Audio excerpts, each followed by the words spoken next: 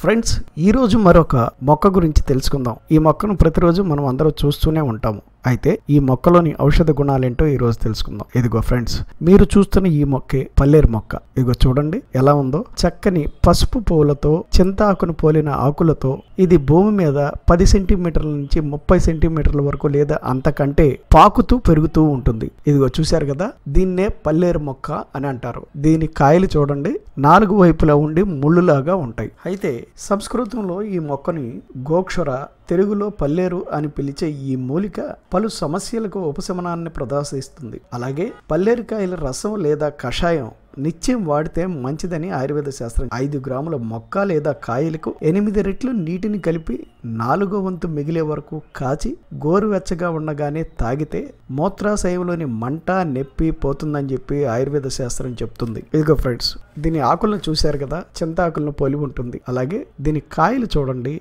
చిన్న గదల వలె నాలుగు ముండ్లతో ఉంటాయి. ఇంచుమించు ఈ కాయలన్నీ ఒకేలాగా ఉంటాయి. అయితే ఈ పల్లేరు కాయల్ని ఏ విధంగా వాడాలి అన్న విషయం గురించి మరొకసారి తెలుసుకుందాం. పల్లేరు కాయల పొడిని ఐదు గ్రాములు. అంటే ఈ పల్లేరు కాయల్ని తీసుకుని చెట్టు నుంచి కోసుకుని ఆరబెట్టుకుని ఎండిన తర్వాత దీన్ని పొడిగా చేసుకుని ఐదు గ్రాముల పొడిని ఒక కప్పు పాలల్లో వేసి మరగ కాసి చక్కెర కలిపి తాగితే చాలు. మూత్రం సమయంలో అంటే మనం పాసిపోసే ట- సమయంలో ఏదైనా మంట గాని నొప్పి గాని అనిపిస్తే వెంటనే తగ్గుద్ది. ఇదే విధంగా కొన్ని రోజులు పాటు చేస్తూ ఉంటే మూత్రకోశంలో ఒకవేళ రాళ్ళుంటే అవి కూడా కరిగిపోతాయంట. ఫ్రెండ్స్ అంతేకాకుండా ఒకటి రెండు గ్రాములు సొంటి పొడిని కూడా తీసుకొని ఈ పల్లేరుకాయల పొడిలో అంటే ఐదు గ్రాములు పల్లేరుకాయల పొడిలో కలిపి రెండు గ్లాసులు నీళ్ళల్లో వేసి ఒక గ్లాసు మిగిలేటట్టు కషాయం కాసి సేవిస్తే నడువు నొప్పి కీళ్ళ నొప్పులు కూడా తగ్గిపోతాయంట. ఫ్రెండ్స్ కాబట్టి మనం డబ్బులు ఖర్చు పెట్టేది ఏమీ లేదు. ఒకసారి ట్రై చేస్తే తప్పే ఉంది. ఫ్రెండ్స్ ఈ వీడియో కనుక మీకు నచ్చితే మీ ఫ్రెండ్స్కి షేర్ చేయండి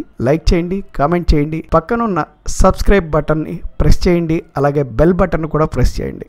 ఫ్రెండ్స్ మీరు చూస్తున్నది టెన్ మీ ట్రూ ఛానల్ ఒకవేళ ఈ వీడియో కనుక మీకు నచ్చితే మీ ఫ్రెండ్స్కి షేర్ చేయండి కామెంట్ చేయండి. మరియు మా టెల్ మీ ట్రూ ఛానల్తో సబ్స్క్రైబ్ అవ్వండి. Please share and subscribe with tell me true